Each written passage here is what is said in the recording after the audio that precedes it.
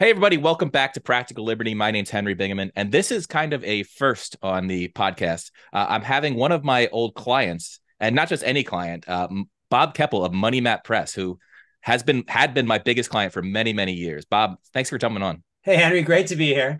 Um, and of course, it was uh, yes, we had some very great years together at uh, Money Map, and we'll share some of those stories, but mo- more importantly, share about how to you know think about and how those businesses are are built really. Yeah it's the reason i wanted to have you on well first of all uh, we're both in brian kurtz's uh, previous guest uh, on the podcast his mastermind the titans accelerator.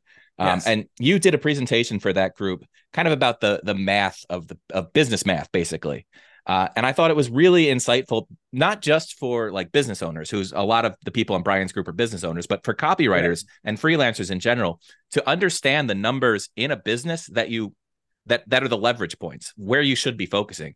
I, I don't know if you know. So I have a lot of uh, freelancers in my my you know I have the Breaking Free course that teaches people freelancing skills, and less than half of the people in there are actually copywriters.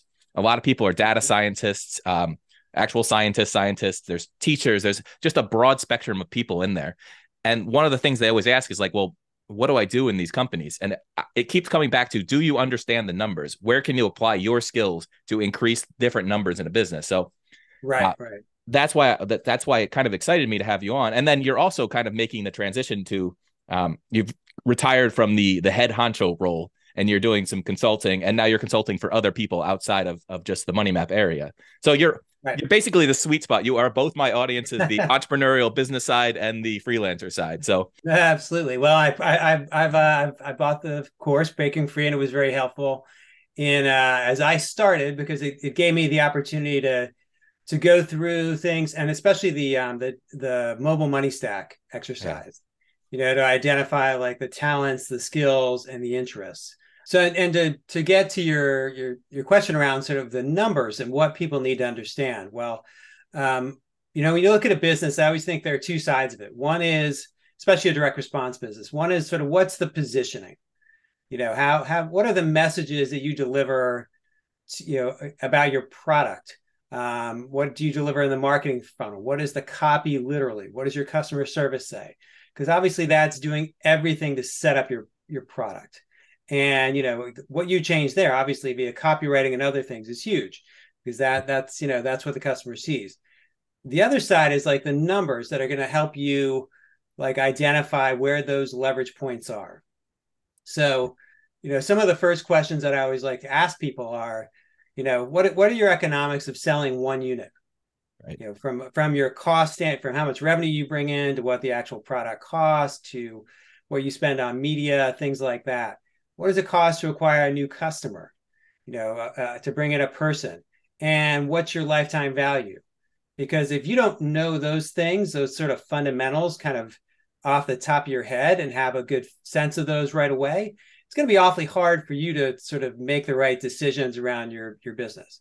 Because ultimately as you get into it you're looking for like those those one or two items that you can you can tweak that are or you can change. I don't want to say just tweak because if you can if you can make significant changes there you can double or triple your business inside of like you know one to three years. Right. And that, that, i think that's the goal for people is when you look at those those numbers is like how do you how do you find those spots um, to to push that kind of you know significant growth? I, I want to go back to a little bit more of your background because i want people like you say the numbers, but there's a million numbers in every business, and you've kind there of are. you've seen enough different industries and inside the direct response world mostly, um, but you've seen enough different different industries to understand that you know in direct mail the numbers are going to be a little different than you know when you're doing an online sales funnel. Um, right. So, can you just kind of give your background and where you started in this? How you got in this crazy world of direct response? sure. Well, let me let me try to make it um, kind of go through some of my own history, but also talk about the leverage points too um, because I sort of I found my way into the direct response world after getting a history degree, which you know taught me you know critical you know kind of a lot about critical thinking and use a lot of data sources. Mm-hmm. Um, I think the both of which are helpful when you look think about marketing messages and you think about how you you know support all the arguments that you want to make in, in your marketing copy. Um, and then I, I sort I found my way into like direct response information publishing um, which was this, you know, sort of the first time I was exposed, um, you know, to a, a world where there was kind of a fundamental distrust in institutions. you had, I grew up in a very sort of traditional family. I was a first gen college kid. My parents didn't really question much of anything, right? And so I, I I started working with Rodale, who's this health and fitness you know publisher and an alternative health publisher, and all of a sudden you have you know this sort of questioning of the establishment and this sort of fundamental like I don't trust my doctor, I don't trust, and you know that extends in what we did together. I don't trust my financial advisor, and it could be religion or it could be anything else, but there's this this um this desire for people to like have some agency over what they do over their own health over their own money over something else. And what they really really want is guidance right, right. They, they don't they don't want to do it on their own. They want somebody an expert to to sort of carry them through it so that's the world i've kind of been attracted i've sort of got into and I've, I've really loved because it has that sort of marketing side that positioning side i referenced and then it has the numbers too which i think of you know are always it, it, to me have always been intriguing so, you know, at a business like Rodale, which was this, uh, which was a, a very mission-oriented health and fitness pub- publisher, you know, the the economics at the time, uh, this is back in the '90s when I first started. You know, it's like we were selling books for thirty-five or forty dollars a piece, right. you know, in revenue, and the printing costs were only like three to five bucks. So, you know, gross margin wise, we were at ninety percent. Like that's fantastic, and then we had this amazing hit product called the Doctor's Book of Home Remedies. Mm-hmm. I think in about four or five year span, we sold something like 18 million copies. But what was more, the only way we did that is because it opened our eyes up to all the available media sources. Mm. And really, you know, for the first time, brought out like huge acquisition opportunities and made us go back and look at the numbers and really break it down to say like what is the you know what what is the amount we can spend per order on a TV station in Tulsa, Oklahoma. right. we are literally getting it down to that level of, of detail. And so I think that, you know, it's the scale came all all came from being able to to approach those media and know exactly what we can spend. Um, and usually the biggest factor there is going to be your advertising cost. Right. You know, what what what is it there and how can you either negotiate that or bring it down? Back then you could really negotiate a little more than you probably can now. Um, but it was it was that it was that factor that made the biggest difference and allowed all that media to open up and helped us grow like a, a 300 I think through 350 million dollar business at the peak of it.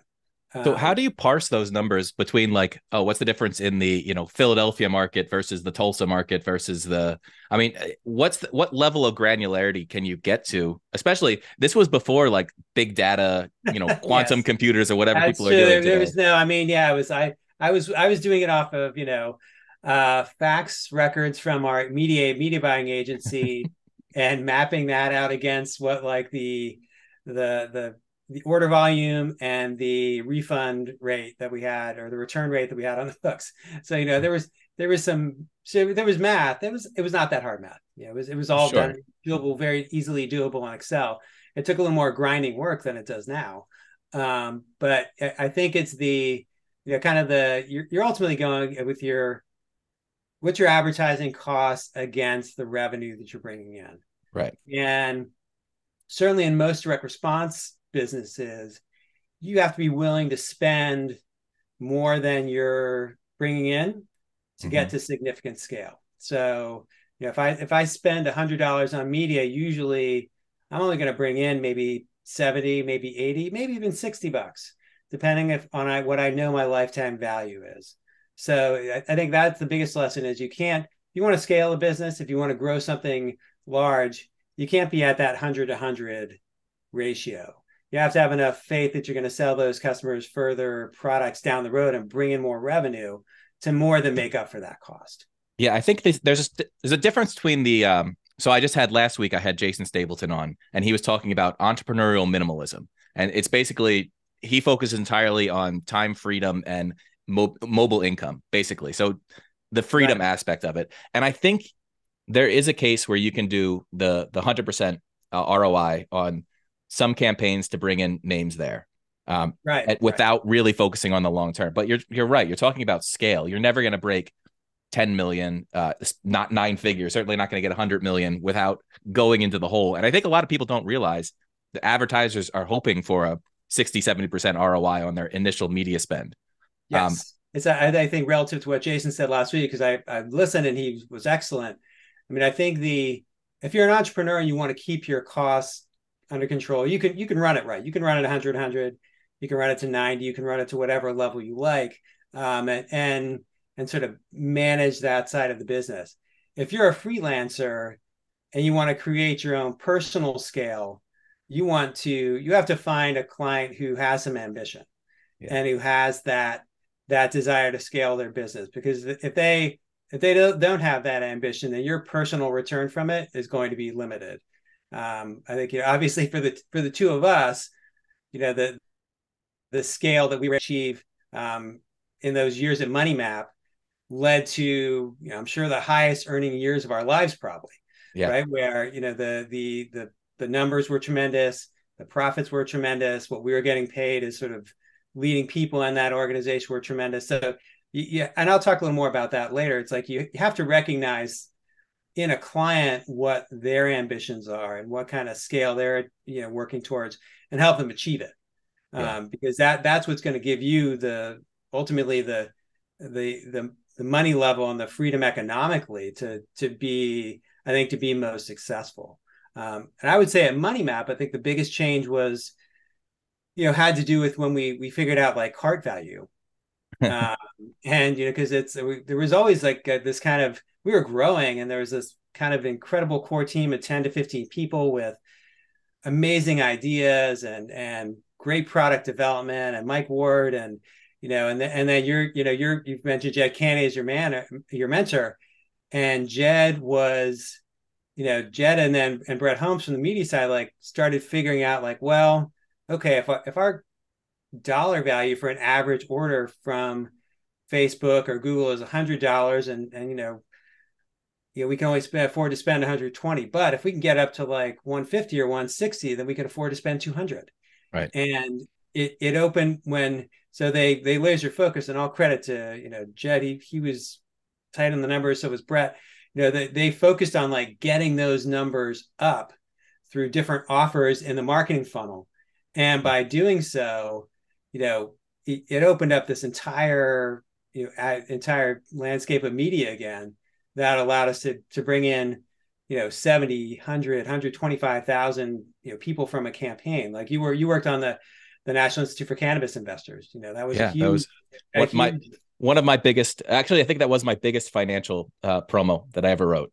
Uh, right. And it was you know and, and it was all thanks to figuring out the economics of it that if if you can capture more value from the customer up front mm-hmm. in that in that cart value process in the initial order then you can you can sort of spend a little more and you can bring more people in.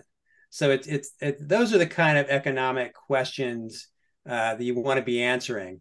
And you know, again, it, it's a, I mean, it, this is this is a little outside the direct response realm, but in contrast, I worked at I worked at AOL for a couple years, and I was there right after, kind of right towards the the zenith, um, right after the AOL Time Warner merger, and they all hated each other, and it was not a great environment, but um, the AOL business itself was producing a billion dollars in free cash flow per month, and the it was all it was all it, it only worked because they were charging people twenty four bucks a month for access, and they were only paying eight dollars out to the phone companies for you know the dial up connections. But as soon as high, you know, so they were that entire business was built on that that those numbers that equation. But as soon as you know, sort of broadband internet came around, uh, all of a sudden they were charging 50 bucks a month, but they were paying the, you know, the providers 48. It's like that entire margin went away. So it's like you can't, I mean, and that's that's another reason I'm fond of a direct response business because if you have, you're able to establish a relationship with people, you have leverage and you have so you have to you have some more leverage and pricing power versus just being something like a commodity. So I'm curious because you were talking about lifetime value, and it's it mm-hmm. and then the the kind of business model thing so how do you calculate lifetime value from a perspective that makes sense because it's going to be different for every business because yeah. you I don't want to calculate a 10 year lifetime value of a customer right now and then have to right. say, okay, well, I can spend two thousand dollars because over the course of ten years, they're going to spend you know two thousand and five dollars with me. That that that economics doesn't work out. Right, um, right. And I, I, remember I had a client that was doing heavy media buys, and they would calculate their day zero LTV. I don't know why they called it LTV, but it was day zero, day ten, day thirty, day sixty, day ninety, right. day one eighty. So they were yes. And then they they would find the break even point. I think they like to be at like uh, day 60 or day 30 break even, day 60 profitable. Yeah, that's a that's a common practice. I mean, and usually most people that you you work with and you know, most businesses that do scale, they they want it back, they want the money back within 90 days. Yeah. So so you have to have the pro you have to have sort of the products and the subsequent marketing in order to do that and to make it happen. Um, it's funny because you you brought that up because I'm having a a client I'm working with now they have a their business model it sort of gives them this huge opportunity for upside from their customers about anywhere from three to seven years out and we're Man. we're like comparing that to what if we move some more of that money into the first you know the initial relationship into those first three six nine 12 months you know and, and going through the financial stuff now and it's like well okay if you you know if you even at that good sort of high upside if you, you discount it and you do net present value and whatever else like boy it might really be better to have the cash it right. might be better to have the cash in hand yeah there's it's scary sometimes going to like even when people start scaling a, a campaign so you, you get a promo that really works on the networks and you say okay you know we were getting this at 80% let's scale it back to 60% and all of a sudden you spend a million dollars at 60% and something changes in your funnel where the numbers don't back out. Like there's a right. lot of, of scary things that can change in a funnel. Uh, there are there are very much. And I think that's the other, you know, piece you were you're talking about how your clients were calculating, you know, that that that value. You know, you're they're doing that down to the media source, down to the spend, whatever else. And yeah. you, know, you really should be tweaking your what you're willing to pay by those different levels. I mean, it, it's one of the reasons, and we can talk about like what you kind of team you need but one of those things is a good is a good media operator. You know, people who can who can do that, who know that math, and who can sort of tweak those things. Um, and then again, you, but you you got to have to you have to track the that lifetime value quickly and make sure you get the get good offers in front of those people to drive up that number. Yeah. So for the the freelancers, I always say just I, I always try to teach people how close can you get to increasing lifetime value of a customer in one way or another. So that can be actually bringing down costs because that mm-hmm. can increase the it. I guess doesn't increase the lifetime value, but it increases the amount of money you can spend uh, to bring in new customers. That's how close can you get to increasing the business's bottom line? So what, I guess, over your experience uh, through multiple different businesses, from like AOL through Money Map through uh, some of the the direct mail campaigns, what are the most important numbers that a freelancer you think could come in and focus on? Well, I think if it's a if it's a freelancer who can um, who's coming in to write to write copy, um, to me, I think that the biggest piece is thinking about that entire marketing funnel. Mm-hmm. Um, and you're back to that cart value example from Money Map. It's you know, Jed and you and whoever who was working with him on a project. You know, you guys would team up and you'd not write not just write the promotion. You would make sure the order form was amazing you would make sure the the uh, the product lifetime upsell was amazing, and then there'd be two or three other levels beyond that.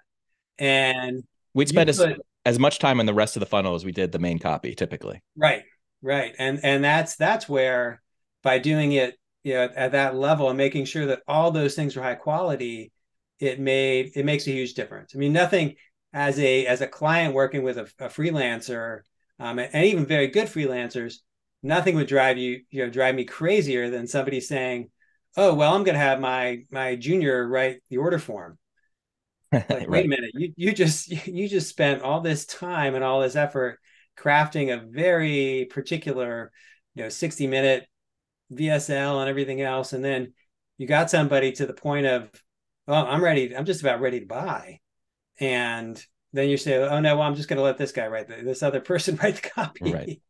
He's not nearly as good. So that that is, I mean, it, one way to think about the numbers is that if you if you go through, think of a, a typical marketing funnel, like you get somebody to click on an ad, then they go they might have to go to another advertorial page or something like that and then they go to the the main promotion itself and then they go to an order form and then any offers afterward you know any any point in there that you can improve by 20% is going to give you should give you 20% more at the bottom line.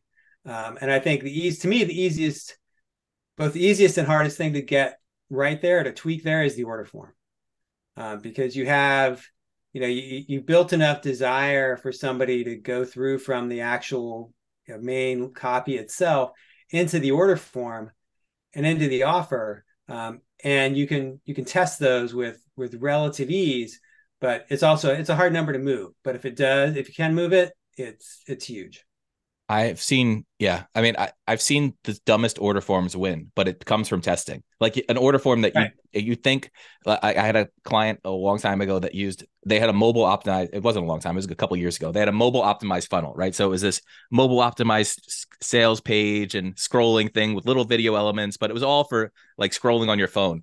And then the right. the order form that converted at seventy percent was a desktop optimized one. The mobile optimized didn't convert.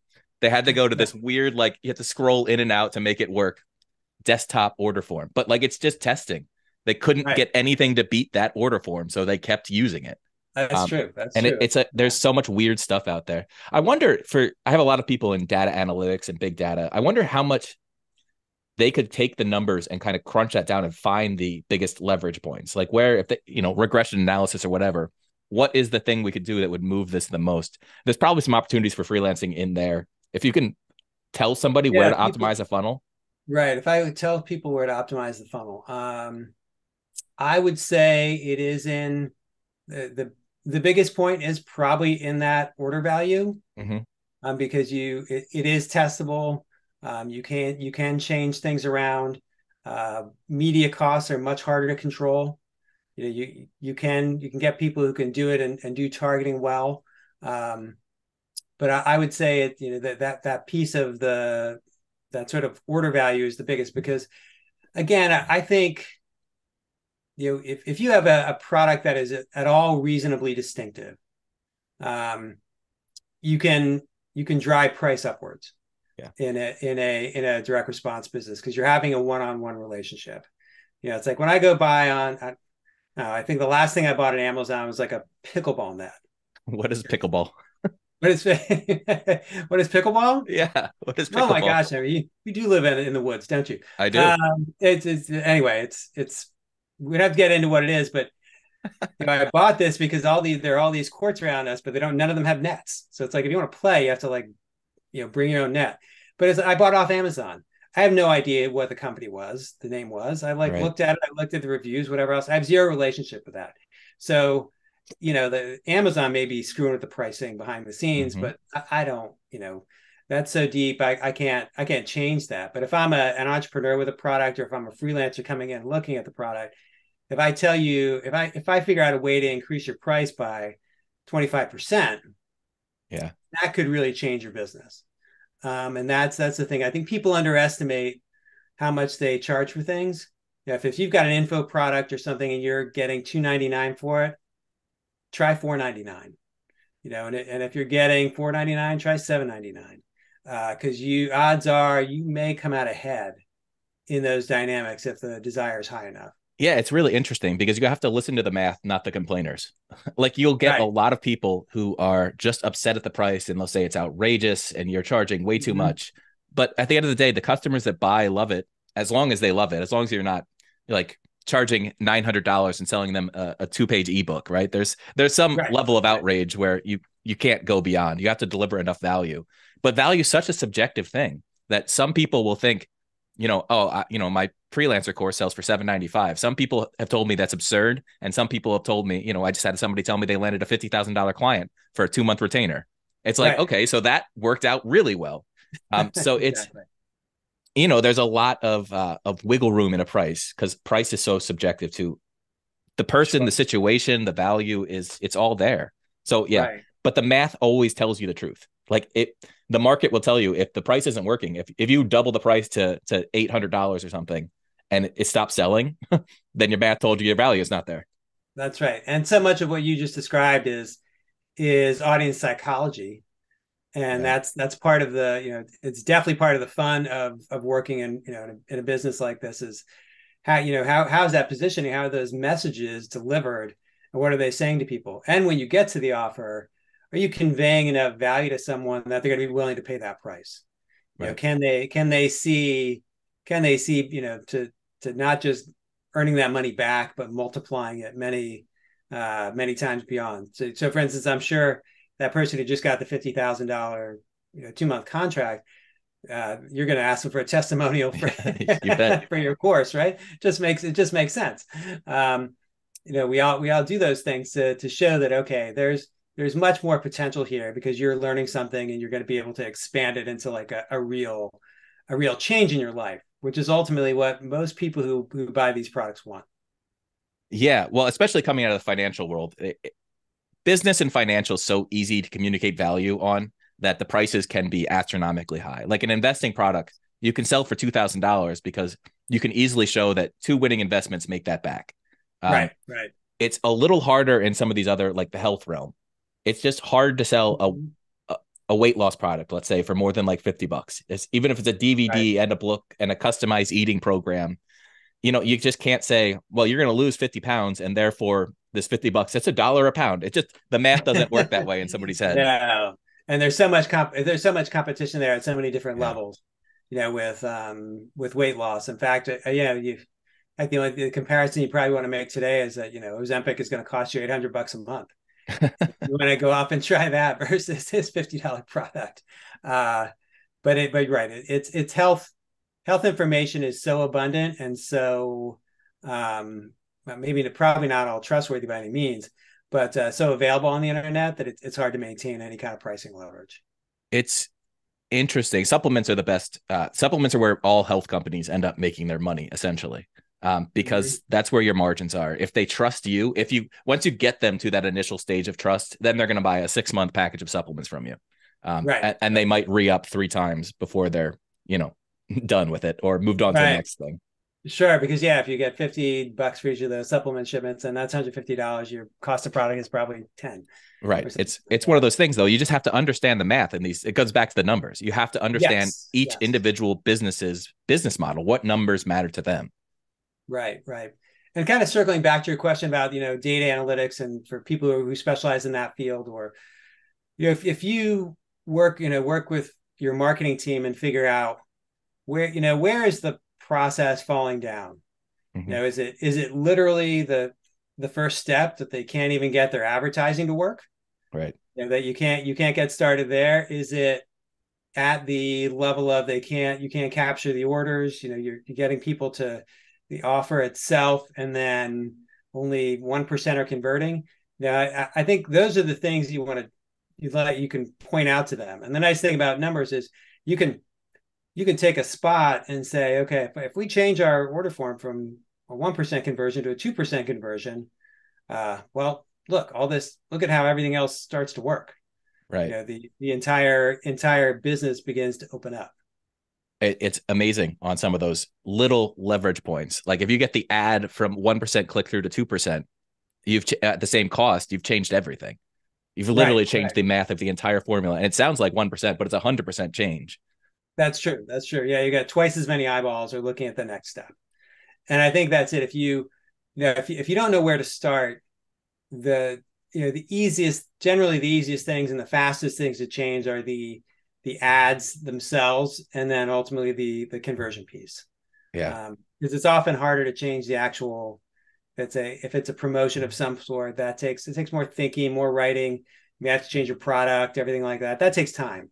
Uh, but you can you can always go in and, and tweak your your ads or test new ideas and test new offers and things like that quite you know quite easily it's funny i did this uh it was a tweet the other day and it was a, a bar room conversation i had with mark ford back probably in 2009 or 10 uh down at, at the in um, florida right. and he he had told me and i've kind of looked at this it's not exactly right but he his uh formula was 80 20 or yeah 80 sorry, I'm going to screw it up 80, 15, 5. So 80% of your business should be things that you know work and you just focus in on that and that's the main thing. 15% should be testing things not like testing wild crazy ideas but like variations on headlines different mailing types because this was he was talking about building agora. So different right. um, envelope types different like magalog versus eight page letter because you never know which one's actually going to win. And then sure. 5% should be crazy off the wall big ideas.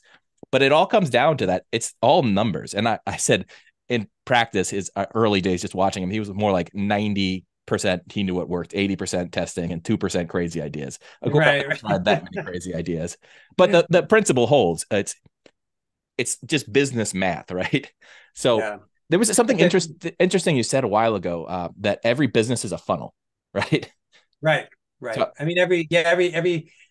I mean, one of the one of the things I try to, to get people to think about is that like every business is a funnel. Every page or, or thing that you put in front of them is a is an offer. And every click is a choice because we're so eh, you know we are so overloaded now with various pieces of information coming at you um, that it, it's obviously hard to get people's attention and you have to sort of keep them in that flow step by step by step. So you you know you really do need to go you, it's every element of it matters and every piece um, has you know has an impact if you can change it. Uh, in fact, you know, some one of the other things I, I show to people, and you you have to, you know, it can be uh, can be offensive if you don't like. people don't like like it, but uh, if you go back to like the Alec, the famous Alec Baldwin speech in Glengarry Glen Ross, yeah, um, and and all anybody remembers from that is like always be closing, right? ABC, mm-hmm. always be closing, and it's a which is true but you know if, if you if you go and if you go back and watch that scene again when he goes to his board and says always be closing he also puts up um, there's also aida mm-hmm. which is like attention interest decision action i to me it's more desire action yeah. is the d but you know if you can't think of it this way we're tying it back to what we were just talking about if you can't even get somebody at the top of the funnel like you can't get their attention. Like that that's one thing. And you can't yeah. you can't get even get any interest going. And if you're at down at that order form level you can't get the action you know? So that, so that's the piece you're working at. And and that that aida is is a great representation of like audience psychology. Mm-hmm. um and so so think about where you need to attack in your own business based on some of that I'm top of the funnel, I'm just trying to get attention and interest. If I'm down at that that offer level at the cart value level, I'm trying to provoke action. And you, you do both differently, you know, accordingly. All right. So we have a lot of freelancers, obviously, on my list and that listen to the podcast. Um, but we have some clients too, and you're kind of you've been on both sides now. So what should what do you think clients look for specifically in freelancers and vice versa? What should freelancers look like or look for in their clients? Right, right. So, you know, and yes, I've been fortunate to be on both sides. You know, for so if you're a freelancer, um, you know, what a client looks for in you, I'd say the first thing is to just sort of show up and deliver. Uh, you're, you know, as, as, as I think as you point out in your course, Henry, the, um, you know, you're, you're sort of giving them time, money, or convenience. That's what you're mm-hmm. providing, mm-hmm. right? And and so that's their their fundamental expectation is going to be that you you are doing what you you know that base level of of what you you know the the agreement is. The second is to actually provide solutions for them, um, to not be asking them kind of you know yeah. to, to, to sort of frame everything out for you. Um, I know you, you know, we worked together on a a, um, a promotion, and you actually cited in one of your posts where the entire idea got you know killed like two days in advance oh. of the we when we were supposed to launch it. Well, it was in recording. We were, we, we were going to recording, and there was a press release that they were killing. It was about the the battery just division of a company, and I'd written this right, entire right. promo about this giant yes. new battery that was going to change energy storage, and the technology is still amazing. It's just on the shelf in this company. They just killed the division and went in a different right. direction. They did, they did, and I, I was the client on the other side, and you were extremely responsive and didn't, you know you didn't cry sort of cry over the spilt milk you came right back and said wait a minute. There was this other interesting piece about this company that we could write about and quickly rewrote it and and you know delivered and and that was providing a solution. Right. so it wasn't you know that no throwing up your hands and saying like well forget it. We can't we can't do this. Let, let's work creatively and do something and that that level of sort of initiative is huge. Um, because even you know and then of course you're going to be expected to deliver results you know sure. that's that's sort of the basis of the ongoing relationship. But if you have that the that dynamic of of things you're going to be a you know you're going to be high up on their list of the, the people they want to work with.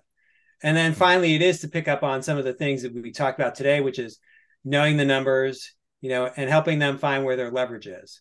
Because certainly the uh, you know had the good fortune over the years of working with some amazing copywriters and you know the the Gary Bencivengas, the Clayton Makepeaces, the Jed Cantys of the world. You, you know, it's like all of you thought about the you know thought about things more than just like this little piece of copy I'm writing yeah. you thought about the entire customer experience and, and where those leverage points were, were. And that makes you more of a partner, not just like a, a freelancer. Yeah, I think it's you're thinking about what's best for the business. It's not literally how can I write this copy. It's how can I grow their business for them. Like what's the best thing right. that I can do for this company, this client as a whole. They're hiring me to do a specific job, but what they really want is this big picture growth or convenience or like the more you take off their plate or the more money you make them, the better the the more holistic holistically, I guess you approach the business, the better off you're going to be as a freelancer. Don't limit yourself exactly. to just the one skill that you have that you're selling them. It's what's the totality of value you can bring to that client and maximize that, and a client will never let you go. Yes, yes. Now that that's very true, and I think the flip side of that, to, to answer your original question, is like what you want to look for uh, in a client if you're a freelancer. I do think you want you want to see some ambition, right? You want to you want to see someone who has plans in mind that are going to help them grow um, mm-hmm. because the, the, the best clients help best clients also help make you better yeah. right if, if you're if you if you go into a room and you're the smartest person that client might give you enough money to to maybe sort of get by in a lifestyle business um, but if you are if your ambition is to do more to make significant amounts of money you need clients who challenge you, who help make you better, who enhance your ideas, who have the the tools to to get it out to a wide audience and things like that. And I mean that that's that kind of scale is ultimately going to be more valuable for you than somebody who where you know everything, you know more than everything, more than them on everything, and there's this there's a limited ceiling there. Yeah, you're not going to grow with a client where you know more than them, or where you can do everything yourself. Uh, you're right. gonna your income is gonna grow. You're gonna get better at your job, at your freelancing skill by working with people that are clients that are growing. And I know we talk about like the lifestyle business thing. It's not bad. That's a perfectly fine option. Right. But it's it's not for everybody. Like, can you imagine Jed Canty being satisfied with like just having a you know chugging along type thing, or Mike Ward, or any of the people that we've worked with over the years? There's like there's a personality type that is growth, growth, growth, and Right. It's fun to attach to those people as a freelancer, especially as a freelancer, because you get to back up and like say, all right, I'm gonna I'm gonna chill out now. You go ahead and grow. But you get but, to watch right, you get to watch and learn. And you know, and it's like um and I know this came up last week with Jason Stapleton. It's like scale is hard work. You know, it is, mm-hmm. it is incredibly difficult. It's also incredibly exhilarating. You know, when, yeah. when you can reach it, there is a feeling and a, and a and a vibe about like when you're in a growing business yeah that makes everything makes makes the effort feel worthwhile um it, it also comes with those feelings of responsibility and stress that that jason pointed out uh, but if you can if you can balance the two and get it it's it's can be a lot of fun it can be and it, you know there's uh different times of your life for different things so maybe in your uh, when you're just starting out, you want to be part of that growth. And then when you're 50, you want to go into more of a lifestyle business. Um, or vice versa. Maybe you, you're kind of like just into chilling out when you're young, and then all of a sudden you get bit by a you know ambition bug at 50, and you want to build. I think the average yeah. age of a, a, successful entrepreneur when they start is something like 40, and that's like the median age, 45 or something. So it's not too late for most people. There's plenty of entrepreneurs that start in their 50s and 60s. So you that's can get true. into the growth mindset at any time. But yeah, just uh, you know, whatever's right for you at the moment is there's there's nothing nothing wrong with scaling. It can be fun. It's a lot of work um, right. But it's you know being part of something is cool. That's right. If you yeah if you have the if you have the passion for it and you're excited about it, then it then it is cool. Then it's worth the effort. If you could build and then you can you know you can build a team. You can really create something. There is a it's a it's like I said it's a, it's a, a feeling of exhilaration. So this is kind of interesting because now you're doing consulting for companies. So if you're coming into a company, um, how do how do you start breaking things down? Like where do you start? Somebody hires you, consult for them. They're like, right. I don't know, we're we're making ten million dollars a year in this direct response type world, um, but we're like frustrated. We feel stuck. Where do you start analyzing that company? We start analyzing the company. I think there. Um, I always go back. You know, I go back at two levels. One one is like, what's the what's the sort of product marketing co- sort of content level? What's the relationship level? And how is everything positioned there? Um, and what can, you know, because the things that would result out of that are often what sort of different products should you be bringing out? How can you be additive to the business? Hmm. How can you create things that are going to extend your lifetime value for those people? And then the place I start for the the numbers I, I kind of mentioned earlier, which is I want to see your breakdown on what your what your unit cost is, what your acquisition cost is, and again, not just cost, but the the whole thing. You know, what what do your ads cost? What kind of click rate are you getting? Right. What do you you know? How many people are going to going to your promotion page? How many people are going from the promotion page to the offer? Breaking it down to that level, and then what's your lifetime value consist of? Because if, if you start there, it's enough detail to begin to figure out some of the patterns and determine what level of um, what level the business needs the most attention.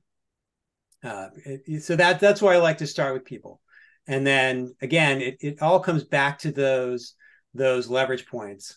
Where where in your business is the the highest leverage point? Because if you let's I mean let's say you're a you know you are a, a a business where there's a much higher cost of goods. You know you you can't you have to to make sure you, you close those sales up high um, in order to make up for that cost versus you know a book or an information product or a supplement where you know your cost is really going to be at the advertising level right um, it's not going to be in the actual product content itself so where do you think so it just occurs to me because I've seen a lot of this where somebody will have a physical product and they they they're getting it it has to be made in the US. It's like some, I forget, like doodle, some, I don't know, g- gadget, we'll call it. And then they add on information. So they, they can sell those things, but they have a very like limited profit margin they can make. Maybe it's like a knife and they can sell it for 10 bucks, but their cost of goods is nine bucks. And then they add an information product, like a survival thing on top of that, that sells for 49 bucks, but is entirely profit. Like you can play around with the numbers that way. If you, if you, if you look at the business as a whole, you can say, okay, this this isn't the product I'm selling. This is my lead gen then. Right, right, and that's true. It, it can work that way, and and I think when it comes to those sort of additive offers, the the phrase that always comes in my mind is just give them more of the same. Yeah, uh, because the the survival course on top of the knife is playing on the audience psychology of it. You know, it's like what's the how can I get you know how can I check a little deeper into their psyche and say, here's how you're going to use the knife. You know, yeah. and if and if you can, and honestly, if you can have something that's not just just that one way to use the knife, and if you if there's another application, you can get that. You know, you can have a second thing or a third thing. You can just keep raising that pricing level up further and further. Yeah.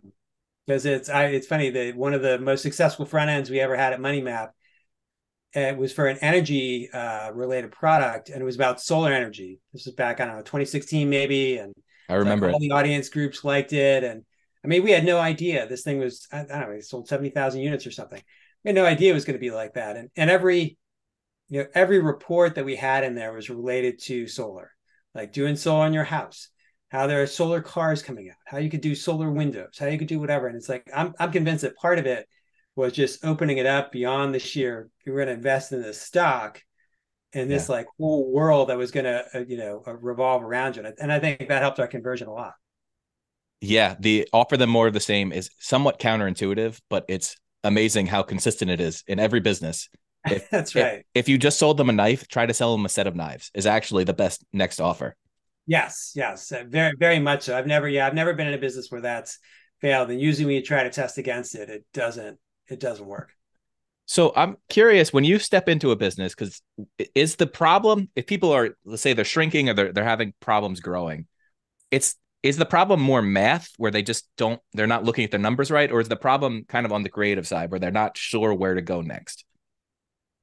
Uh it i mean it's going to vary by client. I mean usually if you're um if it if it's somebody who who has been on a growth tra- trajectory and, and wants to ask the question of like what do i do to go from 5 to 10 or 10 to 20 or something like that?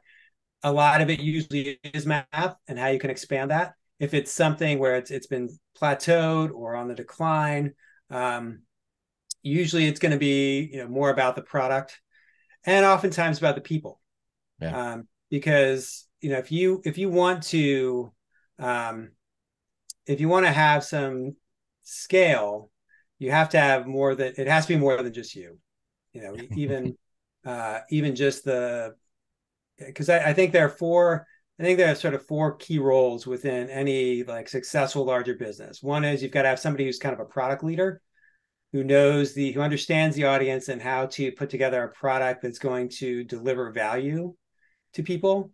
Uh, I think you need an idea leader who is someone that the kind of has that creativity who can do the the five percent that you talked about, you know, yep. with um, with with Mark Ford, but even even the, the other fifteen percent, you know, they they they got to they have to drive the twenty percent besides what just works, and then the, the a marketing leader who's somebody who who, got, who gets the economics of things and who can do more of the the day to day monitoring the business, and then finally sort of a, a good operator, and a good operator is somebody who is who has the capability of going into uh, you know the media side and tweaking what's happening on Facebook or Google or knows people or works with people who can, um, who understands the systems and how to tweak offers and change things and can just keep that testing going on at a rapid pace.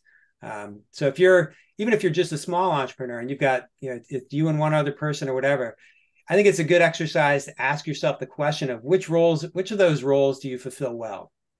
Yeah. And which of those, where do you know, where do you need help in those other roles? To sort of build a more complete team to help you expand expand a business. Um, I was just thinking that it's kind of there is nobody that builds a you know eight figure business alone. Like there, I just I've never heard of it. There yeah. might be somebody that has a one off product that they sell on ClickBank or something that takes off, and you know they sure. got the, the, truth about abs. But if you want to keep that going and turn it into, you need more products, you need more people. So yes, you, yeah. I think uh, one of the mistakes I see a lot of entrepreneurs make is they hire somebody or they partner with somebody that's almost exactly the same as them and then they're right. they're butting heads and there's no growth there at all they just get stuck in that that position because you, if you have any divergence of vision at that point and you both have the same skills you're at an impasse you need to split right. the company up so finding so what was your product ideas marketing and operations right? Now yes. in a smaller company you might have somebody the idea and the marketing and somebody's the product and operations right? It doesn't have to be right right. And it's, it's i wouldn't say i don't like to call it operations because you the person has to be more than that. They have i, I sure. like to use the term operator okay. because they are they're like really detailed and they're really hands on but they also have complete awareness in the numbers. They're not they're not just pushing buttons.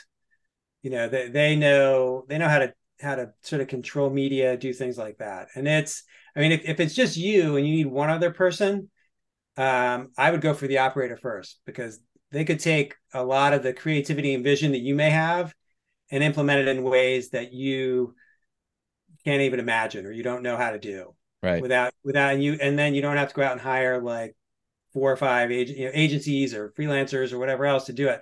Like getting a good operator on your team is can be worth its can be worth its weight in gold.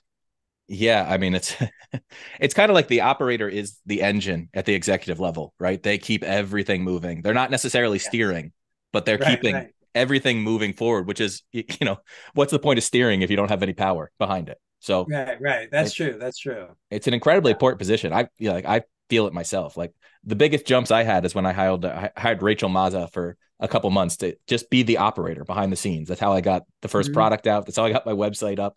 It's just right. I have all these ideas that are, you know, in my head and you know, I'm good at doing one thing at a time. I'm good at sitting down for a month and writing a promotion. I'm good at putting right. a course together. But then like just keeping everything together is tough for me. I'm more on the creative side. It's just my personality. So right. yeah, like partnering with operators is is I can see how that would be enormously beneficial. Yeah, that's right. It's a it's a huge huge um, advantage to have. So, and then that's the. I mean, the other thing I think is is you know you get people tend to think about like performance in a bell curve, like sure. a sort of traditional bell curve, and I tend to think that the you know, the the, performance side, you know, for people and for um, performance and for like campaigns and direct mar- response, it, it's kind of like a flat line, and then you get a huge spike at the end. And uh, they're only you need for so if you're thinking about people, you need a couple, you know, you need a few heavy hitters. We're in that top five percent to make things really sing. And if you can find that that promotion or, or, or two that is in that top performing level, it, it makes an enormous difference as well. It's funny. We were talking just before the call. I think it was before we started recording about uh, Gary Bencivenga and the person that came in. Yes. Uh, do you want to tell that? Like, so some people just copywriters are occasionally the highest paid people in a company. If you have a big promotion, right. like I'm sure you know that there was one or two years where Money Map alone paid me over seven figures, and I'm like, I'm sure I was making more money than some of the executives those years. Right, right. Um, but it makes yeah. sense. And then some people come in and they just. So, what do you want to tell the, the that story? Sure, sure. I mean, it, that that story was in reference to um, kind of toward the end of my time at at Rodale, and it had been sort of a classic direct response business, and uh, they brought in a new CEO who was more traditional media, and he came from Disney, and he sort of, you know, the he saw who the highest paid people in the company were, and he saw that with Gary Bencivenga and one or two other copywriters at the time, and that they were making more money than him, and it just like freaked him out, and he just, you know, he he decided that all the royalties were going to get cut, and you weren't, you know, you, you weren't going to pay these people nearly as much, and et cetera, et cetera, and of course, then none of those people wanted to work with you anymore. So it, it would be like in a in any business thing, like okay um, you know, our, our, top three sales guys, salespeople are making too much. Uh, let's just cut the, you know, let's get rid of them. And well, what do you think is going to happen to sales? it's going to drop dramatically. And that, you know, that was unfortunately for for Rodale, like the start of the uh, downward curve where that it never truly recovered from. I, is, is is making you know is cutting off the the people who are driving the, the most business. And I've seen it happen where people put their ego over their business, where it's some factor that uh, there's a couple people I was told in confidence, but I, so I won't say names, but there was one thing that they just would not do that it wasn't, it was a marketing related thing and it always works. And it, it, it's a very common thing. It wasn't immoral, but they had some hold up in their head and they just would not implement it. And so their business never got past, I think like 1.5 million when they had a list of 100,000 or 200,000 people. And they just like, um, they wouldn't implement well I'll, I'll, say they would never do an upsell. They thought it was immoral. And so they always made you enter your credit card information individually and for every purchase. And you're like you're they left so much money on the table because when the customer was hot and wanting to buy they just thought it was immoral to offer them another thing. And it's it's a psychological holdup. There's nothing true about it. Sure. but some sure. people just can't get out of their own way. And paying your copywriters or top salespeople is one of those things. Some people right. can't do it. They can't imagine paying somebody even if if they made more money because of the copywriter, they couldn't get over the fact that it it just wasn't fair in their eyes that this person was making more than them. So it's self sabotage, and I see it in a lot of businesses. No, that's true. It it, it can can definitely happen because you're as you said, your ego can get in the way. So how do you deal deal with that if you come in? Because it's one of the things as a consultant, as I'm sure you're starting to see, business owners sometimes have some egos. Right. It, it can right. Business has have egos, or or there's or there's company politics or there's just been a there's an existing business model that that may or may not be working.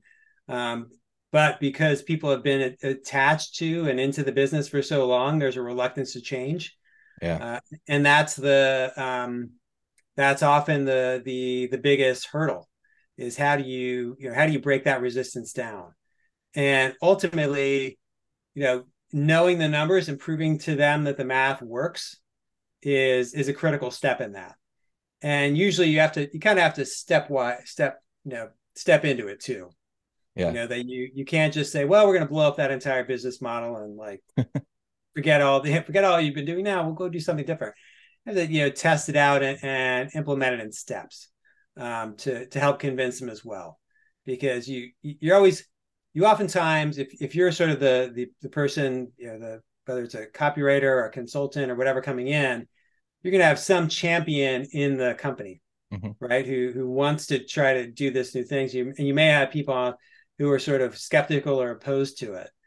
You have to work with that champion to understand a little bit about the dynamics and what what you need to convince them. And the but but again, the numbers are a huge help. It, it, it's hard to argue that if you're if, if you do it this way and it makes more money, it's going to be bad for the business.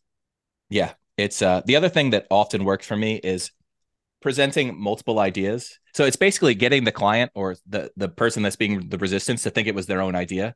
So you'll say, "Here's three options uh, that I've thought of, and which one would you like?" And one's obviously the right decision. And if they pick the wrong one, you say, "Well, why don't we test that against this one?" But anyway, you make it sound like it was their idea.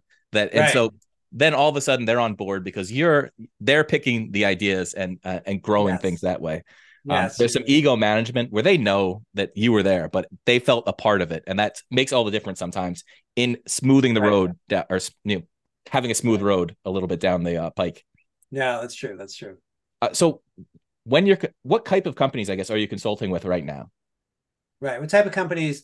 Um, I mean, the, the there's companies that I'm doing that are directly in the in the direct response space or you know primarily there. Mm-hmm. and then there are one or two where I'm doing kind of just what you described which is trying to bring some of the direct response principles into a business model that they already have um, which in some ways for me is more fun. Yeah. Uh, because it's a little more expansive and you're you're teaching and everything else along um, along with it. So it can it can apply either way um, but I like to I like to think of what I'm I'm working with on people as sort of business growth consulting. Okay. Because um, you hear the term, you, will see in, in job descriptions or whatever else, like growth marketing is is kind of a, a buzzword for hiring. And but oftentimes you read the detail, and growth marketing is generally just like media. Yeah, is, is what it comes down to. It's it's Facebook, it's Google, it's social, it's whatever you know, whatever other media the company wants to be in. And to me, business growth is more about the model itself, sure. about the components we discuss, which is you know the, the product offering, the the the way everything is positioned, how the numbers work, what your media channels are. And my, you know, my ideal client is to work with people who who want to examine all those things. Because certainly, I, I mean, hey, I can come in and I can work with you just on your marketing funnel, and that's fun. Or I can work on your, you know, I can copy chief things for you. I mean, I've done that for hundreds of million dollars of dollars worth of products over the years, and that's good too. But it, it's you know the the best best part is to actually get in there deep and and kind of work with you on the business and how you can take some steps and identify those leverage points that are really going to expand it. Yeah, I think that's the thing that if I was to work with you, that would be the thing is like you have all these years of experience in all these different industries. What are the actual leverage points? Like, let's actually get to the core of it. Uh, like, I'm sure you can make a big difference in my marketing funnel but where your actual core talent would be is diving deep. Like, what's the big picture? How do you look at this over a, a two, three, four year horizon and say, all right, here's how we're going to get from, you know, seven figures to eight figures? The bigger picture type stuff is, uh, you know, you just have so much experience in different areas of operating direct response businesses that. Right. It's a hard answer to, to know, you know, coming in. Yeah. Uh, I, I may, I may be able to look at what you do online or something like that and have some initial thoughts but until you dig into the numbers, you really don't know um, because you can't you can't say I can't tell you if it's definitely oh we just have to work. You know the, the key point here is the way your media works, and if we straighten that out, I think you can you can double the number of new customers you bring in. Or the the key point may be that your your product offering is too light. Right. And you, you know, if you build sort of some incremental incremental products onto that, and you have uh, greater diversity of offers, you could double your lifetime value. You know that that's I, I think it, it, it's hard to say until you get in and, and dig in. But most of the time, I would say it's going to be it's going to be on that product and offer side, or it's going to be in the the the media conversion side. Yeah. So if people uh, want to find out more about you or just get in touch, where where would you send them? Sure. I mean, it's very simple. Bob Keppel at gmail.com is uh, what I use, and it's you know B O B K E P P E L. So pretty straightforward. Hopefully, there's show notes. You could put that in there too. But um, do you have a, a, LinkedIn or social media profile you want to? Yeah, my and my LinkedIn, I was on early enough that it's straight up LinkedIn slash uh, Bob Keppel. All right. So uh, first adopter, huh? I was an early adopter. Yeah, that's right. Thanks to a friend who was sort of a, a business early business school uh, professor. He's like, oh, you have to try this. I'm like, okay. I can't even remember how long ago, how long ago it was. Nice. But, it's uh, all right. So I'll put uh, I'll I'll, I'll spell out your email so you don't get uh too much spam requests in the show notes, but I'll put a link to your to your LinkedIn.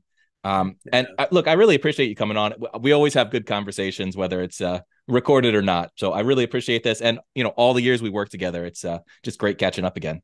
No, it is. It is good, and and please do reach out. You know, I I enjoy talking about people's businesses and learning about their businesses.